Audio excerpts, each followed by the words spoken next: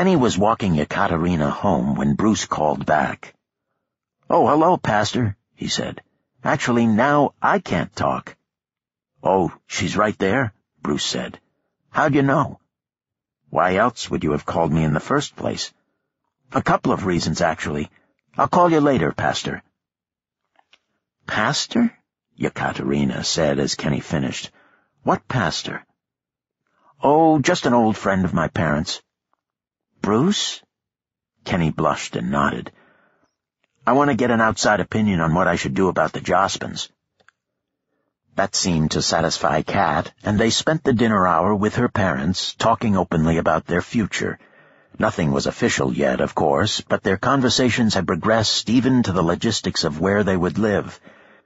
Kenny wanted to make his actual proposal something dramatic and special.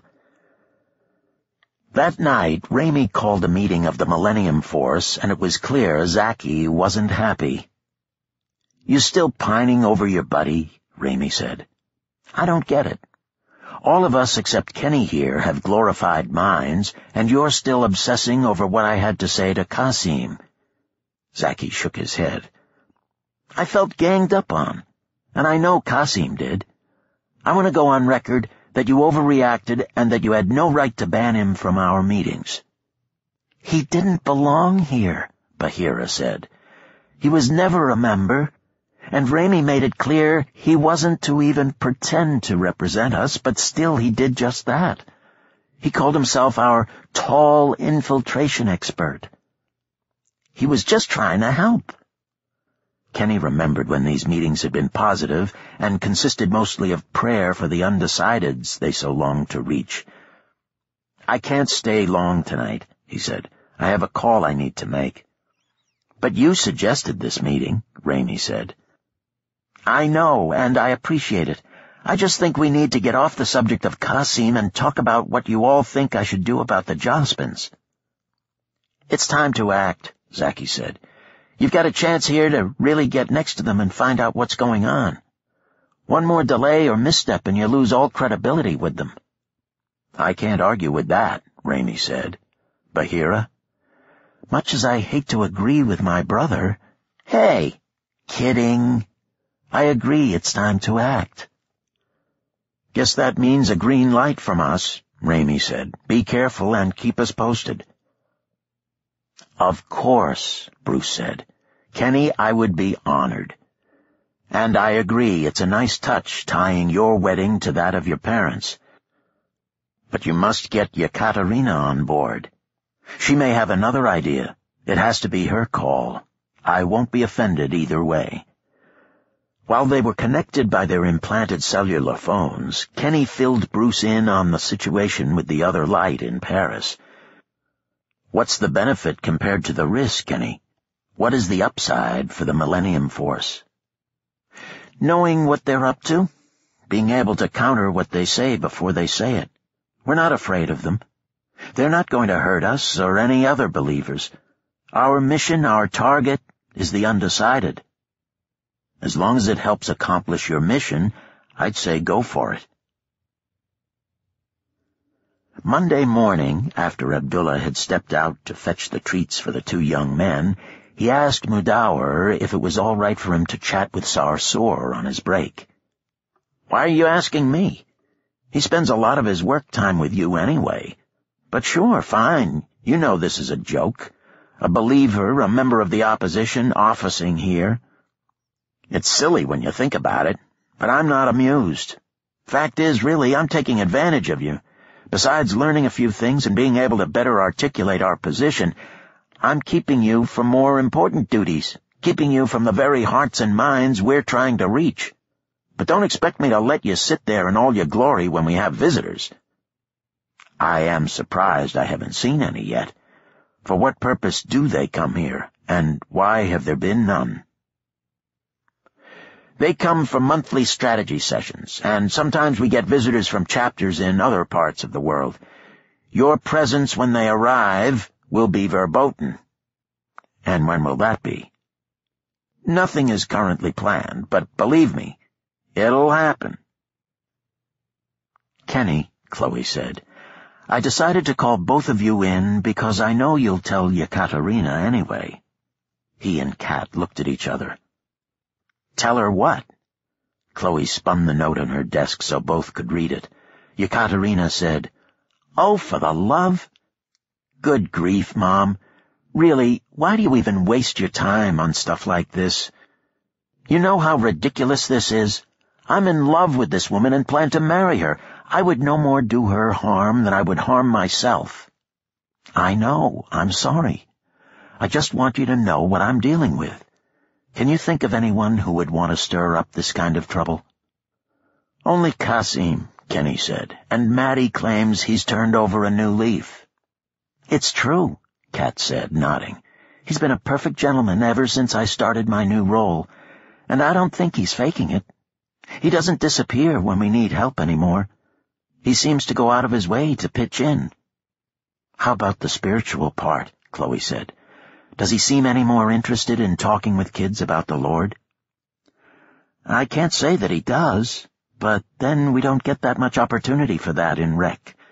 Plus, now I think people sort of leave that part of it to me, which is all right with me. It just gives me more opportunities. Yes, Chloe said, but evangelism is what we're all about. It's why we're here. I want people working for us even in your area who care about these children's hearts and souls. They sat in silence for a moment. Finally, Kenny said, Let's just forget this other mom. It's not worth the time, really. Chapter 24 Abdullah had Yasmin's permission to show her letter to whomever he felt it necessary but already he was repenting of promising to show it to Sarsoor. It was so personal and, frankly, so painful. And yet, if it could somehow turn a stubborn heart toward God, he didn't have a choice. When he and Sarsoor were sitting across from one another again, the young man's countenance and demeanor had reverted to their first days together. What is troubling you, son? I don't know. Sarsoor said, his mouth full of his snack, and his tone evidencing that he did, in fact, know. It's only fair to tell you that so far you have not changed my mind a whit. You're a curiosity, and I like a good story as well as the next man, but don't start thinking you're getting to me. Fair enough, but it is not your mind I care so much about, Sarsoor. It is your heart. That is what God is after, too. You sound like my parents. They know your mission, your work. The young man shook his head. It would be cruel to tell them. They know I'm not a believer, that I have a lot of questions and accusations against God. That hurts them enough. I don't need to nail the final lid in their coffin. They are not the ones who will die, son. Touche. But it is true. They entered the kingdom redeemed of the Lord, and while they will age because they are naturals, they are promised eternity with God. They will be ushered from this kingdom to the next. How old are you, Sarsoor? The young man shrugged. Come, come, everyone knows his own age.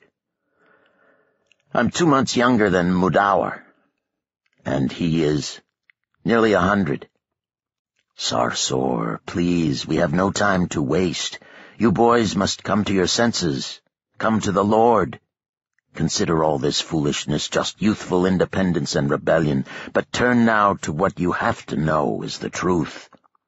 I know nothing of the sort. Listen, let's say you're right. Let's say that despite all you tallers dying off at the end of your hundred years, you are somehow able to keep this torch burning down through the centuries as the population expands. By the last century of the millennium, you have amassed this great army, and all right, let's say that against all odds and logic and prophecy and the very word of God, your side prevails.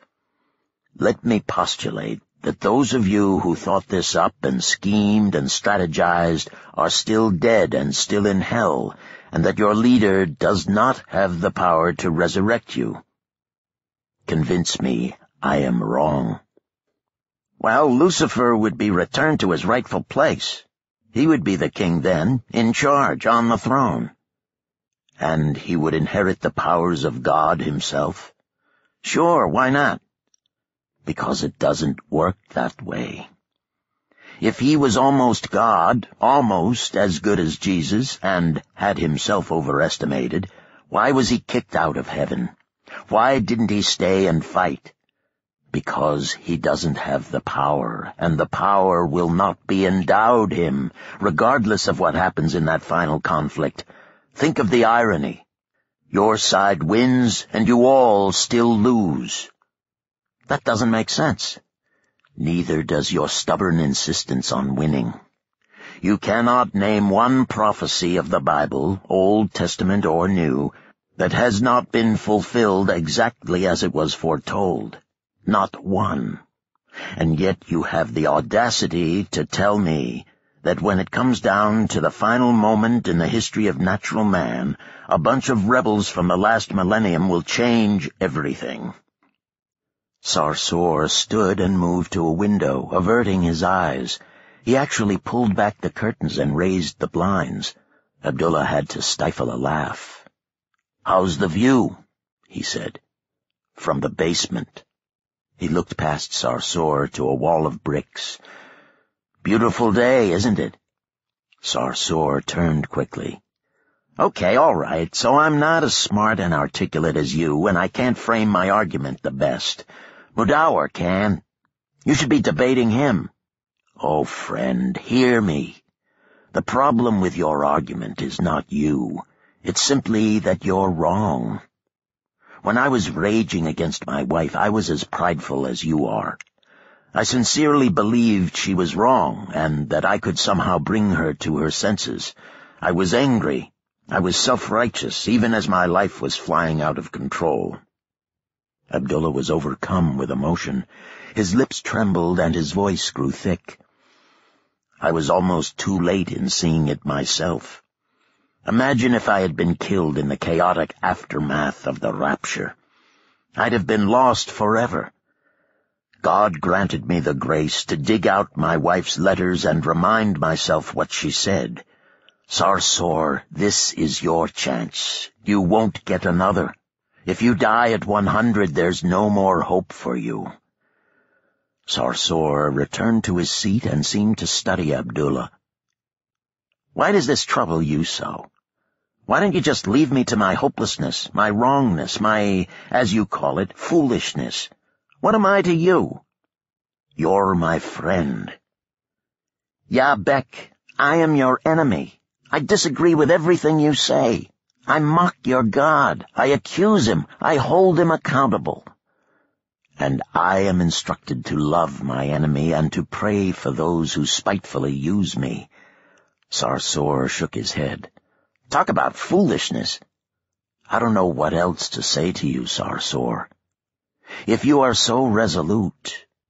Abdullah carefully folded Yasmin's letter and began to tuck it back into his Bible.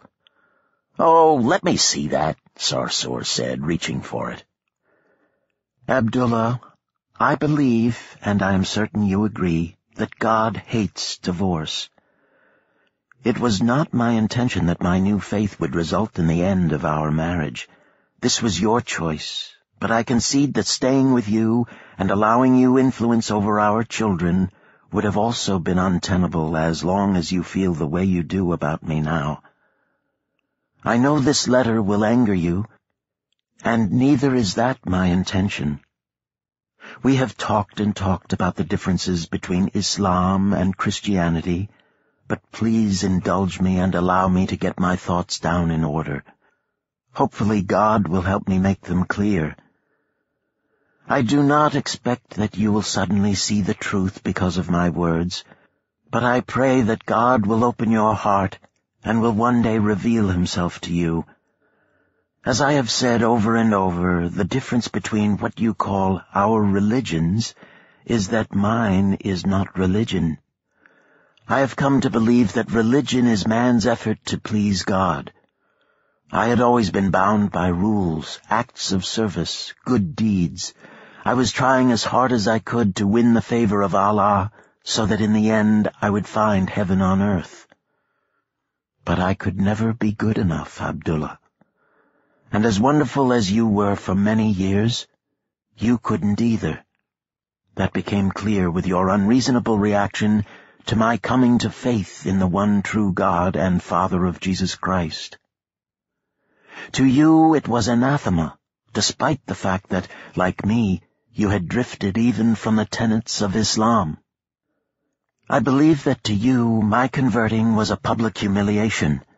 I regret that, but I could no more hide my true feelings and beliefs than I could ask you to give up flying. Just once more let me clarify. Christians believe the Bible teaches that everyone is born in sin and that the penalty for sin is death. But Jesus paid the price by living a sinless life and dying as a sacrifice for all who believe. Abdullah, you must admit you have never met a perfect person, and we each know the other is not perfect. We are sinners in need of salvation. We can't save ourselves, can't change ourselves. I am most encouraged by your discipline and your efforts. You are now more like the man I married. But don't you see?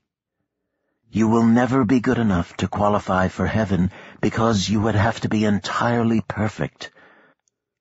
Some day when you are ready, and I hope it will not be too late, just pray and tell God that you know that you are a sinner, that you are sorry and want to repent and be forgiven. Ask Him to take over your life.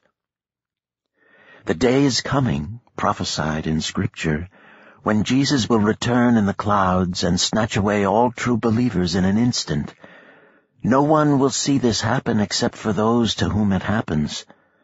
Those left behind will simply realize that it is all true. Christians from all over the world will disappear. I hope it does not take a tragedy like that, though it will be anything but tragic for those of us who go, to get you to swallow your pride, examine yourself, and humble yourself before God. Of course, if this does happen before you come to true faith, you will know what has occurred, and you will be without excuse. I just pray that you do not lose your life in the resulting chaos before you can become a believer, not in a religion, but in a person, Jesus the Christ with fond memories and deep affection, praying for you, Yasmin. Sarsour handed the document back to Abdullah. And so you did what she said?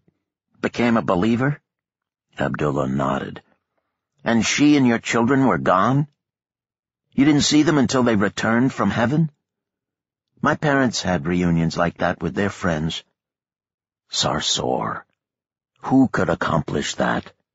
How could the evil one hope to prevail over a god like that? The young man pressed his lips together and shook his head.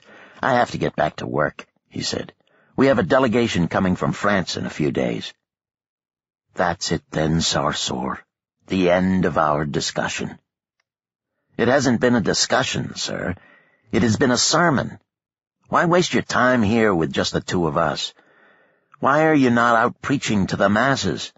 There are a lot more undecided young people out there than in here, and they have to be more open-minded than we of the other light. We ought to know. They are our audience, our prospects. You are my prospects, Abdullah said. I am here in obedience to my Lord Christ, who knows best. Yekaterina was tearful at Kenny's news that he would be gone a few days to France. I wish I could go with you, she said. Me too. Pray for me while I'm gone. I pray for you all the time, love. Of course I will. I gave Ignace and Lothaire some very innocuous information about COT. I merely told them where it was, how many children we hosted, how large the staff was, and that the big deal now had been the visits from biblical heroes. They were not impressed. Ignace fired back a message that said, Tell us something we don't know. Tell us something that not everybody in the world knows. And tell us in person. I think he was really surprised when I told him I would be there tomorrow. I believe they were really starting to suspect me. You know what I miss? Bruce said late one night in the Negev as he and Rayford sat outside by a small fire. Darkness. The rest of the team slept in the massive trailer, heavy shades pulled against the daylight-like beaming of the moon. Rayford chuckled. You know what the Bible says about that? Men love darkness rather than light because their deeds are evil. Yeah, I think I was the one who taught you that, Ray. And yep, that's me. Evil. I know what you mean, though, Bruce. I'd love a starlit night to aid my sleep. But you've been to heaven where there is no night, not even shadow. Were you tired of it there? Bruce shook his head. Heaven is different, and I can't wait till the books are opened and all the believers go. As fascinating as this world and this kingdom are, I can't think they hold a candle to the next. They chatted long into the night, plotting the coming weeks of their mission. Bruce told Rayford of Kenny's call. Think of it, man. Who'd have ever thought I'd officiate your second wedding, your daughter's, and her son's? Chapter 25 Kenny had cleared several days off so he could complete his clandestine mission to Paris, but almost as soon as he got there, he heard from Yekaterina asking whether he could return and postpone his trip. Why? What's going on? Your father has just announced our next heroic visitor. Kenny, he's your favorite. Not David. The prince himself. I can't believe it. When? Within the next couple of days? I don't plan to return until Saturday. I know, that's why I'm saying maybe you could... But I prayed about this, sweetheart. I know this is where God wants me, and I have to think that if I make this sacrifice, He will somehow make it up to me. How? Who knows? Maybe by giving me an audience with David as he did my grandfather. I guess someday I'll have all the time I want with all the biblical characters. I know you're right, Kenny, and you've taught me that God favors obedience even over sacrifice. That's just hard for me right now because I was hoping this news would be enough to bring you back to me. I'll be back soon enough. Oh, and Kenny? This visit from David is different from all the others. We're not to tell anyone. You weren't even supposed to tell me? Well, you're on staff. But no kids, no parents, no friends. We've all been sworn to secrecy. That priest friend of your father's supposedly told him that if even one outsider shows up, the visit is off. And yet we don't even know when it is. Not exactly, no. Well, I'll bet old Kasim makes this one for sure. Actually, he's off the rest of this week, too. Abdullah knocked lightly on Mudawar's door. Yeah? He pushed it open slowly. Sorry to intrude. It's just that Sarsour mentioned perhaps a visiting delegation sometime soon, and... And you were wondering whether you should make yourself scarce? On the contrary, I wish to offer my services to them too. If they are friends of yours, they are friends of mine, and I am eager to meet their needs. They don't have needs, Abdullah, and they aren't my friends. They are my bosses. More than that, they are my mentors, the ones who got me into this. The fact is, I idolize them and want to make a good impression, and right now, I can't imagine for the life of me how it's going to look if I have you ensconced in one of my offices. They're coming the day after tomorrow, and if you really want to help, I want this place sparkling by then. I am pleased to help. And then I want you out of here for a few days. No sign of you, nothing left on your desk. That I will not do. Excuse me. You heard me, Mudawar. I repeat my pledge from the first. I am here under assignment from Almighty God. You may be under some illusion or delusion that you, in some moment of madness or genius, decided to allow me in. but the fact is the Lord has ordained it. You don't think I can kick you out of my own suite of offices? Oh, I know you can. But you also know that I would then be stationed in front of your door with my little table and my Bible and my smile, and I will be greeting your honored guests every time they enter or leave. And we both know people are somehow drawn to me. Yes, out of morbid curiosity. You're a relic, Abdullah, a peculiarity. Whatever it takes to attract a listening ear. Once I have their attention, I merely talk about the Lord. The rest is up to Him, not this imperfect vessel. You are a crazy man. The Apostle Paul would have called me a fool for Christ. And so, what? It's either you in here making me look like an idiot before my mentors, or out by the front door being the dunce yourself? Either way it reflects upon you, I suppose. You have not consulted me in some time, though Sarsour has been at least cordial. That's what I'm afraid of but a word to the wise. If I were you, I would represent my presence in your offices as your idea. A stroke of brilliance going against the grain, zigging when the rest of the world is zagging. If you can't persuade your mentors there's some benefit to the cause in this, that you have somehow convinced me that my time is better spent here than trying to persuade the same target audience, then perhaps you are not qualified for the role you have been given. Give it some thought. Kenny was in his Paris hotel room the next morning when he was informed of a message waiting for him at the desk. It read, Meet us at the address on the reverse, 30 minutes. I and L. The location was easy to get to by mass transit. Ignace and Lothaire nodded at him from a wrought-iron table at an outdoor cafe as he crossed the street. Hey, guys, Kenny said, pretending not to notice that they didn't look happy. Just sit down, Ignace said. Who do you think you're kidding, anyway? I don't follow. You don't follow. You make noises at our cousin's funeral like you might be one of us. You string us along by email, we get absolute zilch from you, even though your buddy Kasim vouches for you with his life. And how hard do you think it was for us to figure out that your parents, your parents, started COT? And now you want us to believe you're sympathetic to the other light? Busted. What could he say? He breathed a silent prayer. Lord, what now? Take the offensive, he heard in his soul. Believe what you want to believe, Kenny said. But you'd better not have wasted my time dragging me all the way here just to tell me you don't trust me. There are plenty of people in other TOL cells who do trust me. And as for where I'm embedded, where do you think you'd get better information? The brothers looked at each other, and Ignace nodded.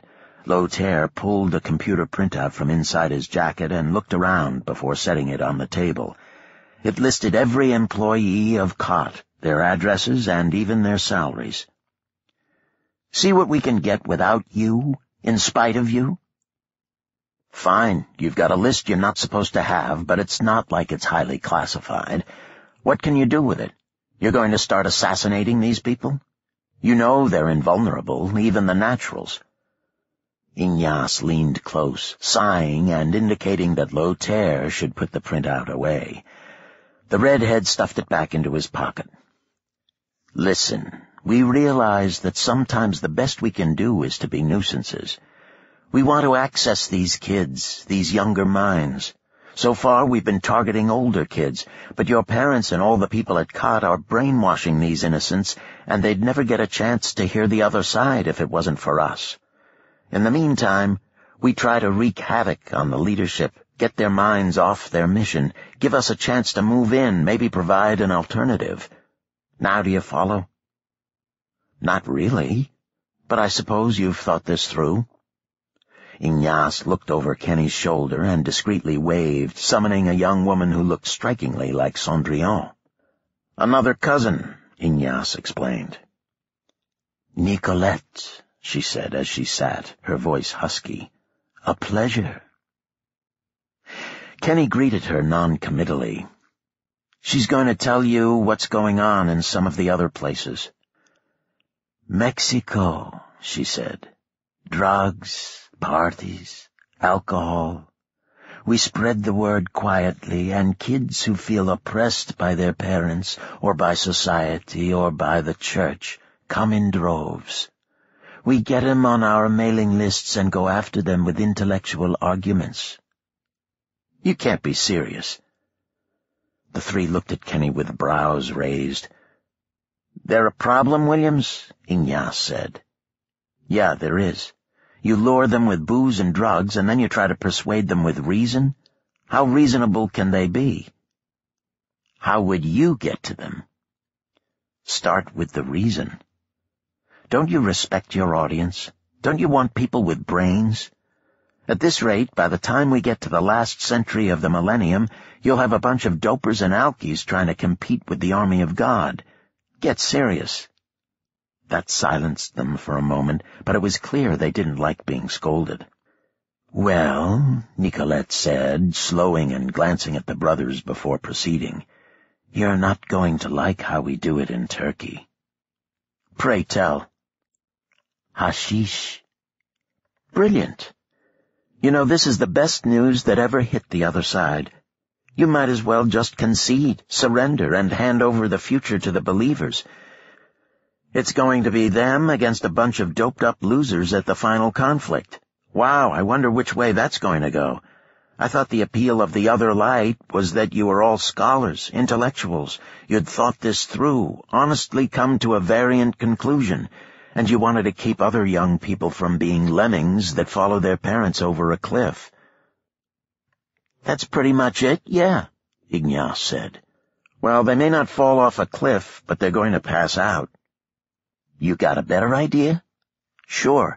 Beat the believers at their own game. Raise up impressive, bright, humble young people who are a credit to society, but who disagree about the future. Wouldn't that be way more attractive to your potential recruits than thinking that this is all about getting away with illegal stuff?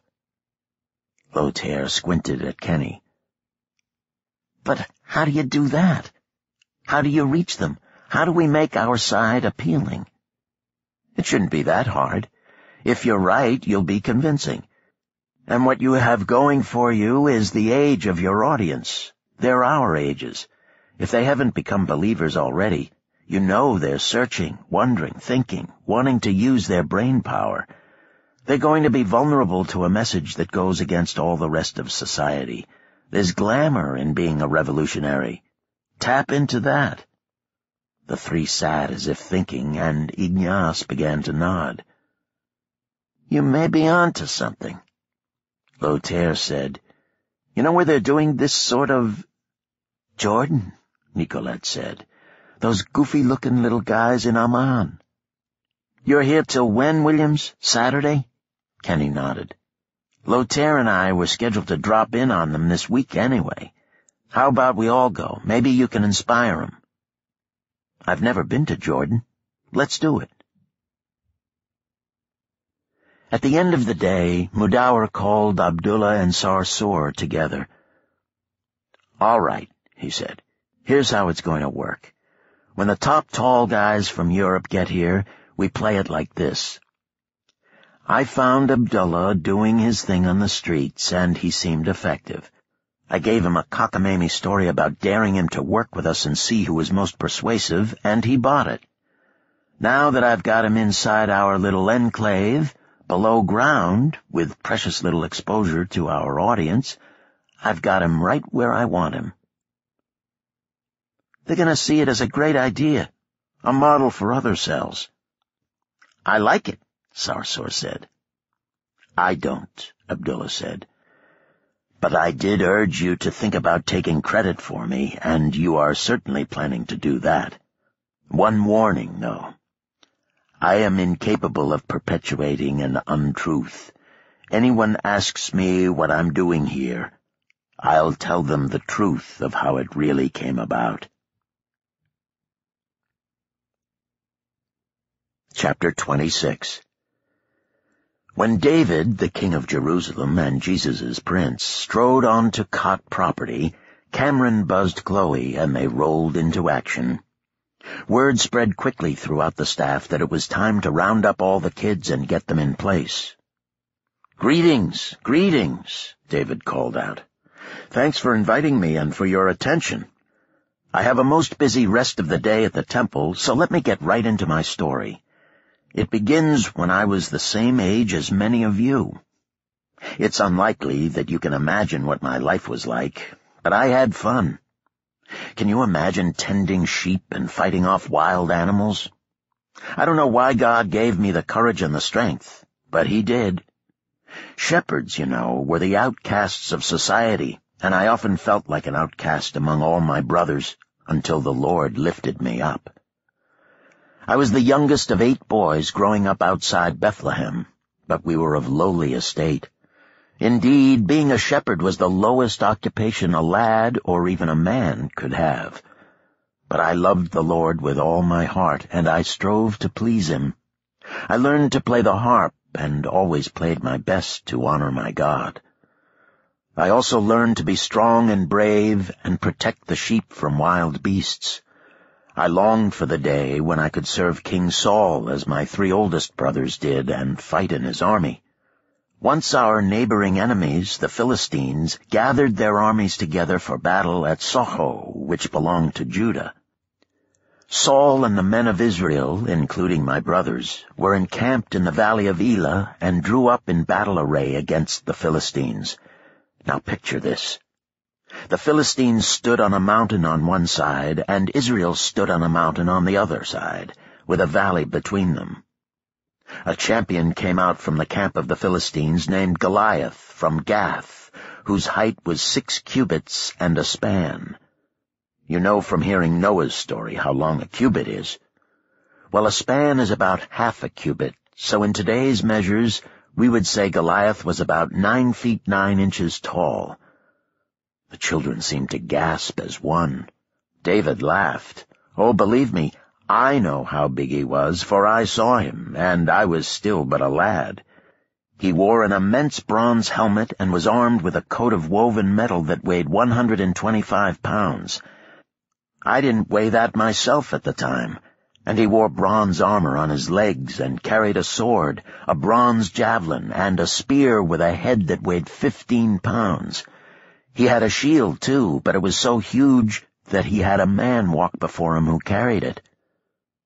Goliath cried out to the armies of Israel, Why have you come out to line up for battle? Am I not a Philistine, and you the servants of Saul? Choose a man and let him come down to me. If he is able to kill me, then we will be your servants. But if I kill him, then you shall be our servants and serve us. I defy the armies of Israel this day. Give me a man that we may fight together. Well, that was the talk of the whole of Israel, and everyone seemed to know that even Saul was dismayed and greatly afraid, for Goliath did this every morning and evening for forty days, and no one dared challenge him. One day my father told me to take an ephah of dried grain and ten loaves to my brothers at the camp. He also gave me ten cheeses to take to the captain of my brother's thousand men. My father said, See how your brothers fare, and bring back news of them. So I rose early in the morning, left the sheep with a keeper, and took the food and went as my father had commanded me. When I got there, the army was going out to the fight and shouting for the battle. I left my supplies with the supply keeper, ran to catch up with the army, and greeted my brothers. While I was talking with them, that champion, the Philistine of Gath named Goliath, presented himself yet again and made his challenge. And all the men of Israel fled from him and were dreadfully afraid. The man who kills him the king will enrich with great riches, will give him his daughter, and give his father's house exemption from taxes. I couldn't believe my ears. Even though I was just a child, I said, What shall be done for the man who kills this Philistine and takes away the reproach from Israel? Who is this Philistine that he should defy the armies of the living God? My oldest brother heard this, and his anger was aroused against me. He said, Why did you come down here? And with whom have you left those few sheep in the wilderness? I know your pride and the insolence of your heart, for you have come down to see the battle.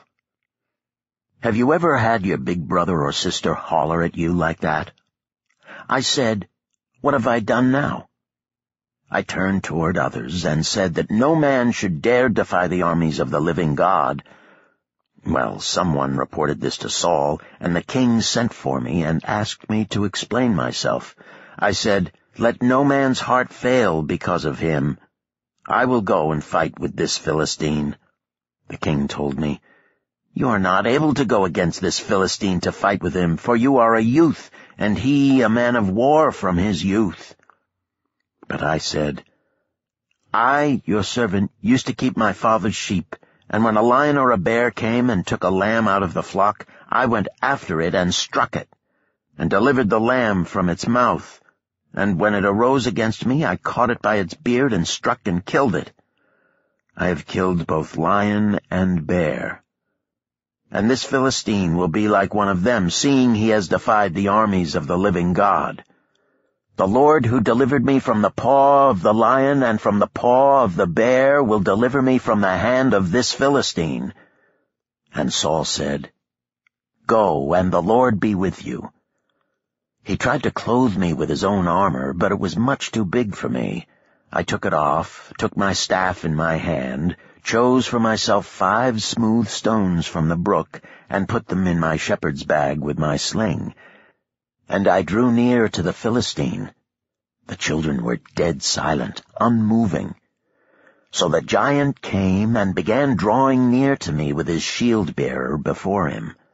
Well, you can imagine what he thought when he saw me, a little red-faced boy.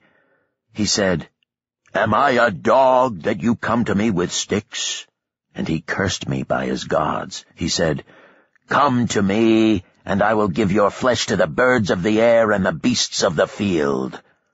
I said, You come to me with a sword, a spear, and a javelin.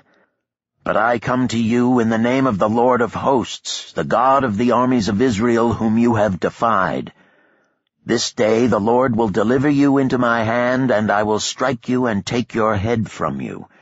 And this day I will give the carcasses of the camp of the Philistines to the birds of the air and the wild beasts of the earth, that all the earth may know that there is a God in Israel. Then all this assembly shall know that the Lord does not save with sword and spear. For the battle is the Lord's, and he will give you into our hands. When Goliath drew near, I ran to meet him.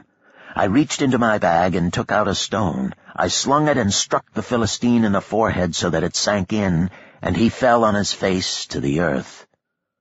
I had defeated him without even a sword. The children clapped and cheered.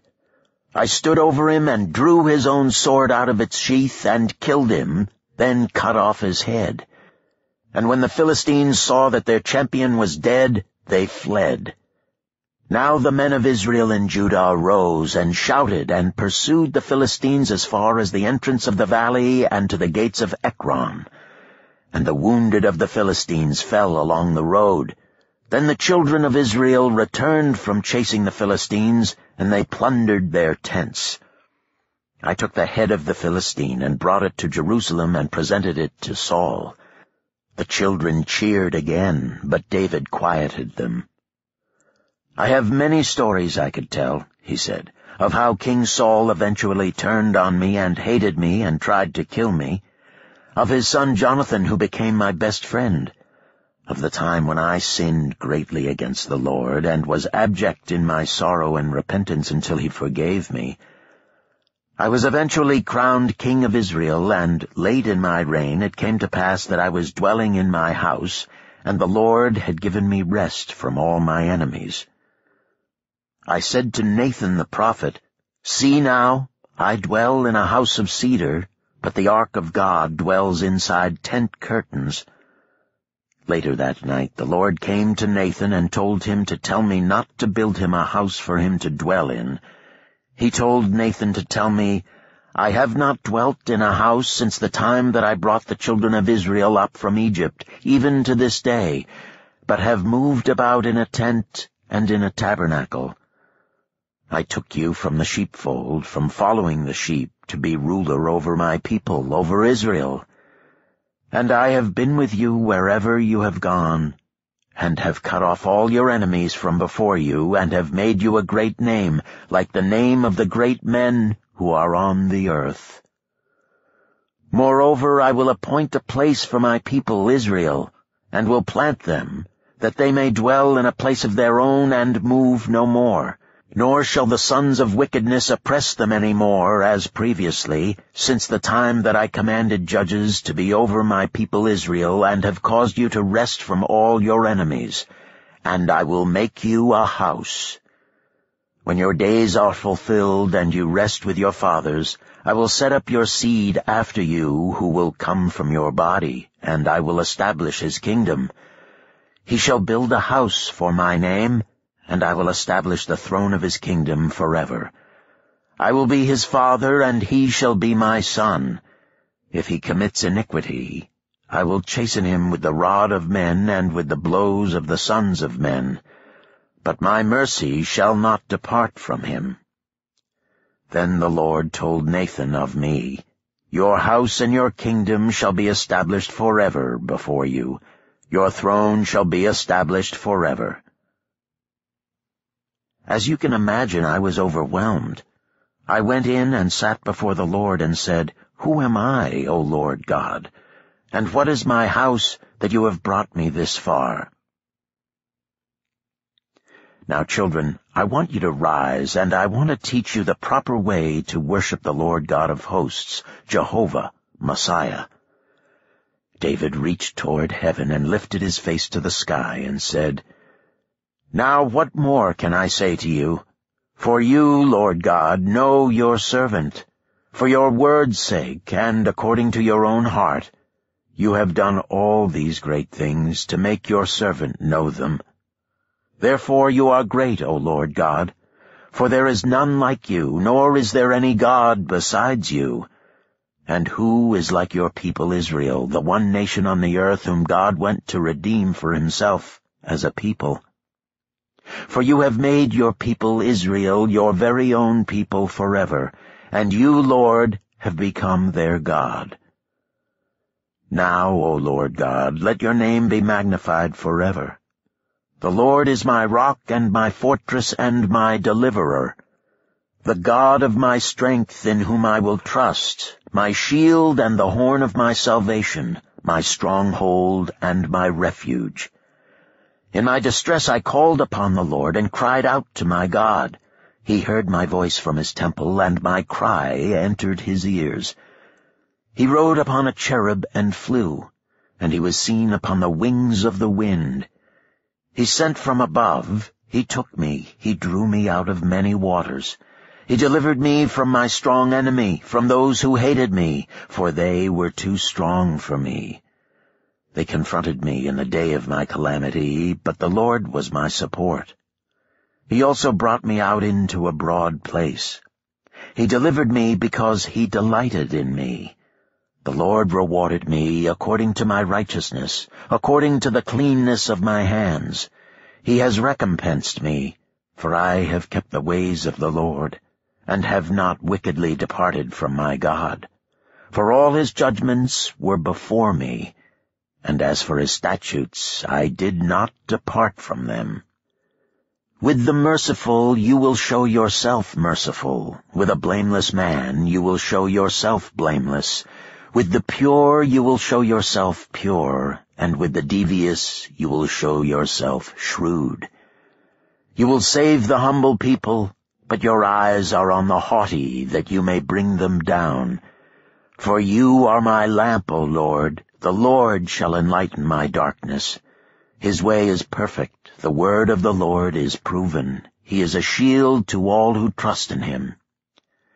For who is God except the Lord? and who is a rock except our God? God is my strength and power, and he makes my way perfect. He makes my feet like the feet of deer and sets me on my high places. You have also given me the shield of your salvation. Your gentleness has made me great. You enlarged my path under me so my feet did not slip. The Lord lives. Blessed be my rock. Let God be exalted, the rock of my salvation. Therefore I will give thanks to you, O Lord, among the Gentiles, and sing praises to your name. He is the tower of salvation to his king, and shows mercy to his anointed, to me and my descendants forevermore. And when Cameron and the children and all the staff looked up from their prayer, David had disappeared from their midst.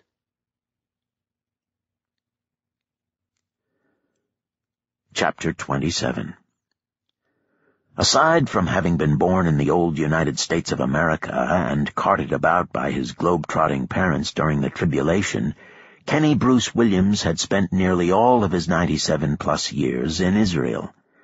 Others he knew, especially his extended family, loved to travel, but he had never seen the appeal of being away from the very country in which the King of Kings and Lord of Lords physically resided and presided. On the other hand, despite the anxiety over working undercover, Kenny had found Paris interesting. None of the historical landmarks remained, of course, but attempts had been made to reproduce some of the more familiar, like the Eiffel Tower, the Louvre, and even some of the great cathedrals. The prospect of going to Amman intrigued Kenny, if for no other reason than that his friends Bahira and Zaki had grown up there and had vague memories of the culture and the food. He didn't expect to experience much of either, but perhaps something in his travels would somehow find its way into his work with the kids at COT. On the plane with Ignace, Lothaire, and Nicolette, Kenny, for the first time, became aware of the stares and glares of people, mostly naturals, some glorifieds, who must have recognized the alternative clothing of the tallers for what it was. Kenny had known so little negativity in his life, of course he barely remembered much of the tribulation, as it ended with the glorious appearing when he was still about four months shy of his fifth birthday, that it had been his practice to catch people's eyes, even strangers, and smile. That wouldn't do now. His pretend compatriots were rebels, misfits, outcasts. They kept to themselves, looking serious, or if they did meet someone's gaze, they proffered a hateful scowl. Kenny found that nearly impossible, so he just kept his eyes focused on the floor most of the time. Ignace, who sat next to Kenny, spent most of the 2,100-mile flight scribbling on papers he had apparently received from the leaders of various TOL cells around the world. But every time Kenny glanced toward them, Ignace covered them and shot him a look. Finally, with about twenty minutes to go until touchdown, Ignace packed up his stuff and leaned over. Here's the deal with Amman. We're fairly new there, so even though we've got two of our brightest recruits in that office, not much is happening. They use the name Theological Training Institute as their front, but free speech is virtually unheard of in Jordan, so these guys lie low and do most of their work over the Internet. They're building a database of people who are at least intrigued, so we want to find out how that's going. Truthfully, we had been steering them toward hosting secret parties where kids who are fed up or questioning the status quo can come and feel like they're really rebelling. We told Mudawar, he was a recruit from my own international blog and is our top guy there, really gifted, to offer them contraband stuff. But the more Lothaire and I think about your idea, about taking the high road, the more sense it makes. I mean, I didn't sign up Mudawar, and he didn't sign up his assistant based on dope or booze or women or anything like that. Like you said, we appealed to their minds, and that is the kind of recruit we want. So once we're through with all the formalities and we get their progress report, you give 'em your pep talk, okay? Kenny nodded. This couldn't be worse. All he had intended with his little speech two days before was to allay their suspicions. He had done it so well he had inspired them to a better approach for recruiting. He sure didn't want to be responsible for their amassing a higher class of dissidents. Cameron and Chloe sat in the office poring over employment records. Strange, Cameron said. You realize that this Kasim Mareed has been gone all three times we had the Bible heroes here? Chloe leaned to look at the records. That's some coincidence, Cam. It's gotta be more than that. What are the odds? It's almost like he doesn't want to be here when they are. But who wouldn't want to hear those guys? Hey, she said, what did you do with the master list? Which? The printout with all the staff names and addresses. You know I don't go into the files, Chloe. You've got it backed up on disk, right? Of course, but no one else is supposed to have access to the hard copy. Oh, Cam, we're not going to have to start putting locks on the doors, are we?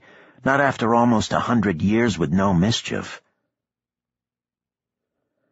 Abdullah was amused by Mudawar and Sarsour.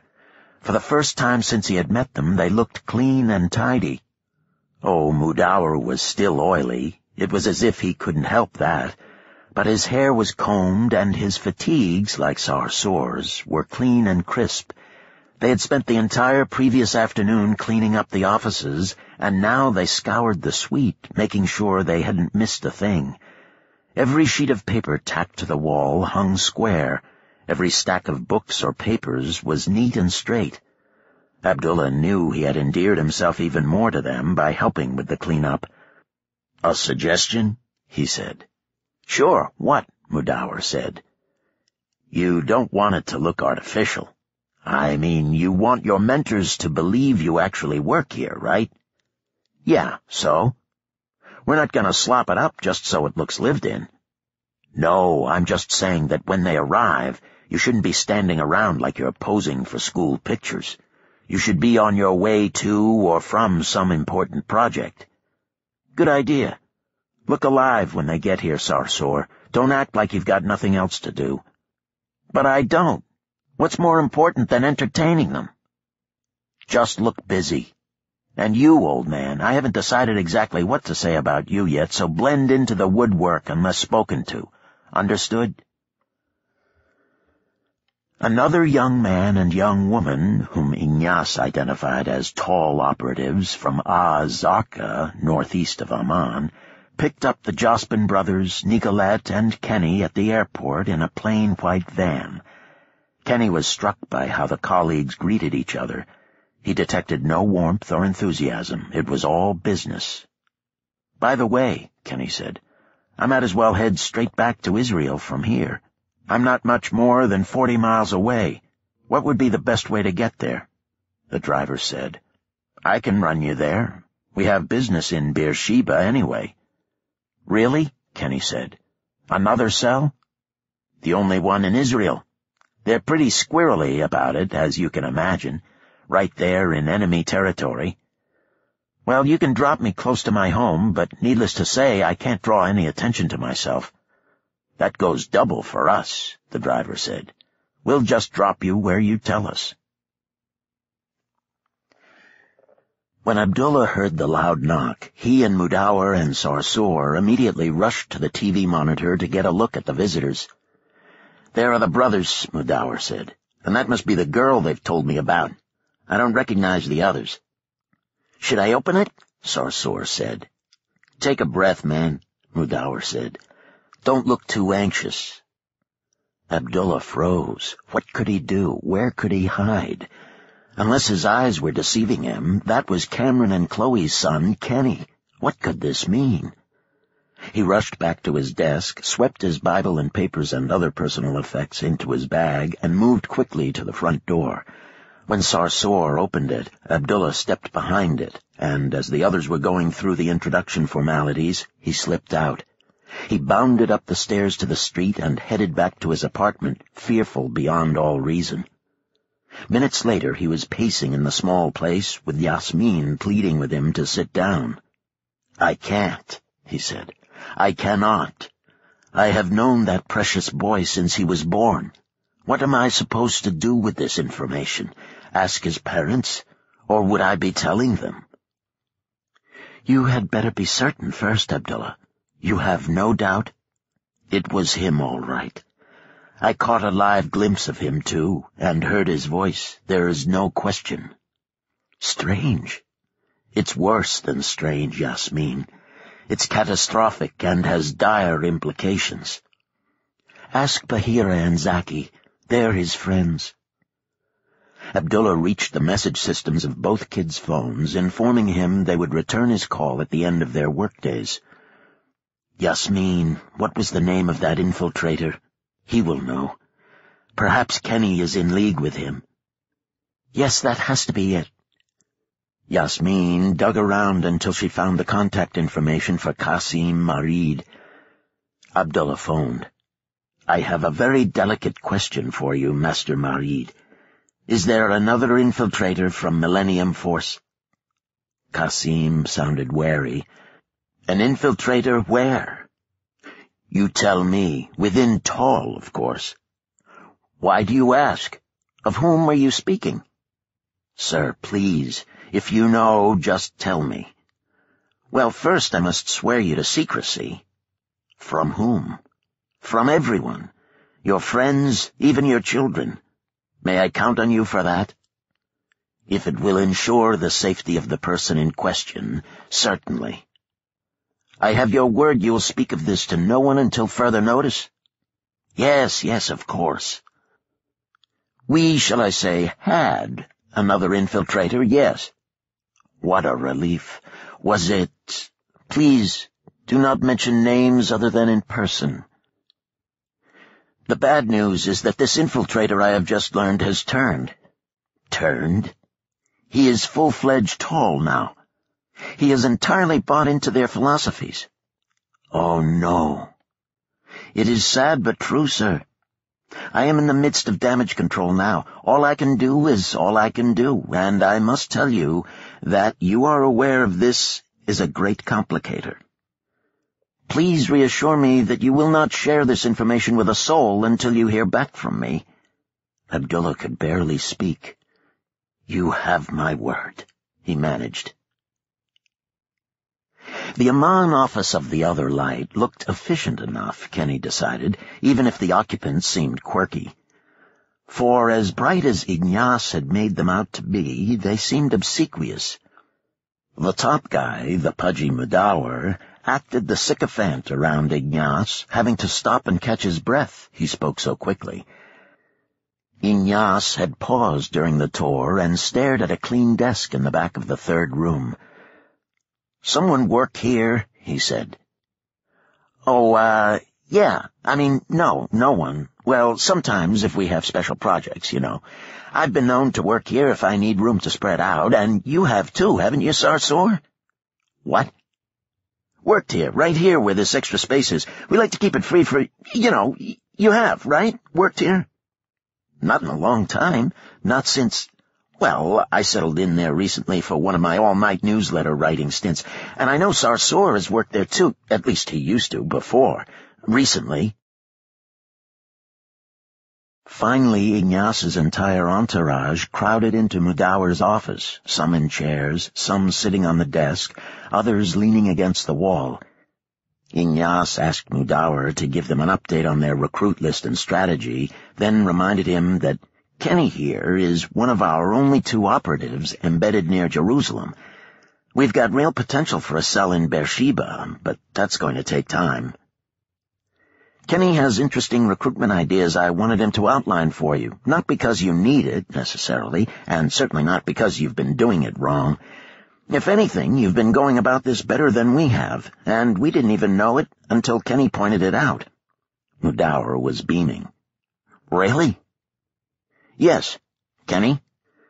Well, I was just mentioning to Ignace and the others that it seems to me the best strategy for recruiting the young disaffected of our world isn't through this bait-and-switch technique of luring them to parties and illicit activities and substances. We want them for their minds, and so that is where we ought to be aiming. Within minutes, everyone was furiously taking notes, and Kenny was having a major crisis of conscience. He knew he had to keep this up to avoid giving himself away, but he would never forgive himself if his counsel had the effect TOL so desired building a better, smarter network of brighter adherents.